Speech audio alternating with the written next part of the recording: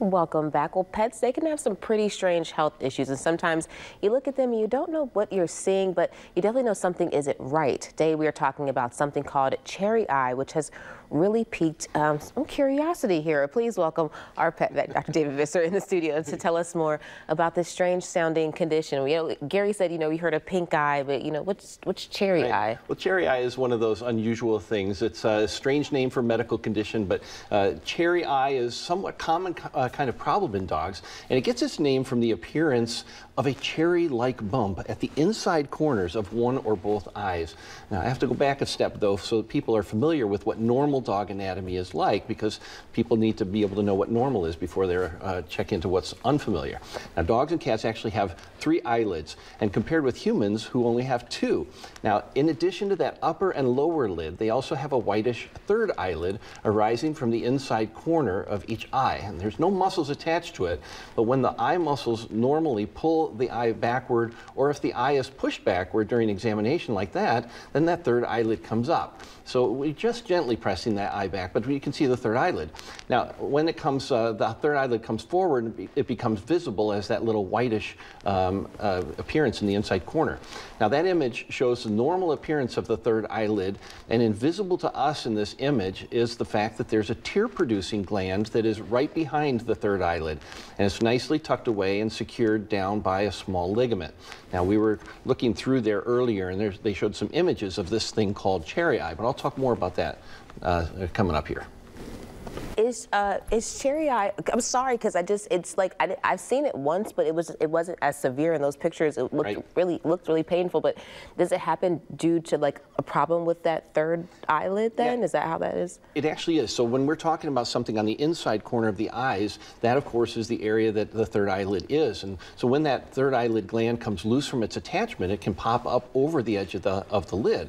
And it's not only in the wrong position for the gland, but that tight lid kind of puts pressure on that gland and it interferes with its circulation, causing it to swell and become red. Okay. This then, of course, is an image of what it looks like when it looks um, all swollen. This eye uh, has, as you can see, looks very different from the way that it should look. Okay. So that's what cherry it, eye will actually it, look it, like. It looks like it hurts. Is it is it painful? It looks like it it just looks like it really hurts. Yeah, it, it's, it sometimes can be, but most of the time not. Uh, they might not show any discomfort at all, but it can irritate the cornea, it can cause an ulcer or a wound as it rubs over the surface, and that, of course, can threaten vision. Okay, so I, have seen it in dogs a lot, but does it happen in any other cats, do cats ever get yeah. it too? Is Morris at risk?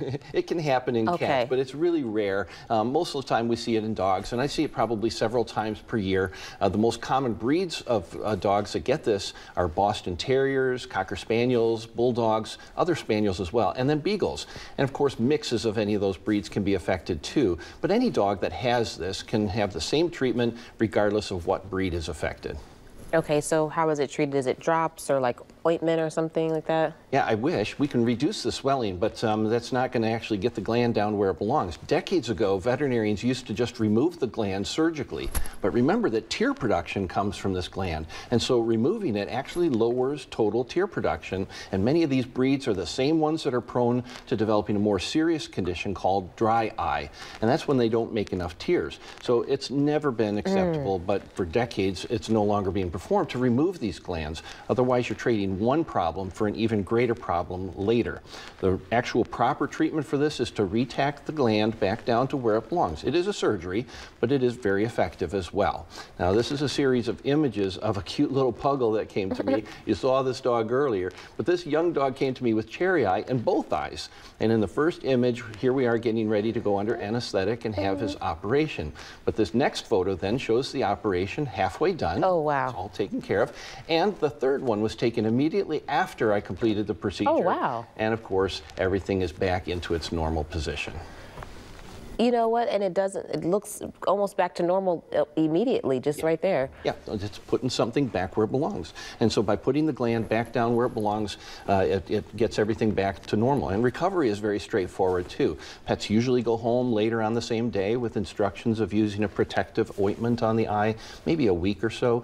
And they may also have a, a proverbial cone of shame oh. shield collar. maybe we can figure out a way to call it the halo of success instead though. Uh, but there's no stitches that need to be removed later. And while recurrence can be uh, possible, it's really unlikely. Um, I think it's also important to know that not all practitioners feel comfortable doing this kind of delicate operation. So check with your veterinarian. At least know that there are local options to have this taken care of.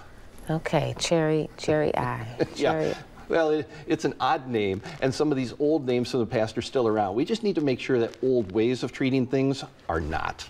Absolutely. Well, thank you so much, Dr. Visser, because I didn't know I didn't know I saw it, but I didn't know anything about it. But I'm glad to know that you know it's it's something that can be treated. Yeah. Listen. And, it, and it, it, it's I don't want it to be disturbing these images. Yeah. I want it to be informative. If we see this kind of thing in our pets, we should be uh, addressing it, and and people might not have recognized that that's certainly an abnormality, but that there's something. And don't treat the dog all not nice because it's not looking its cutest. Okay. Sometimes you don't look your cutest. Okay. You you still think somebody should treat you nice, so still treat the dog good. Okay. Listen. If you want to contact the pet vet, Dr. David Visser, you can reach him at the Center for Animal health by calling 888 PETS VETS, or you can just shoot them an email at michianaPetVet at comcast.net, and we'll be right back.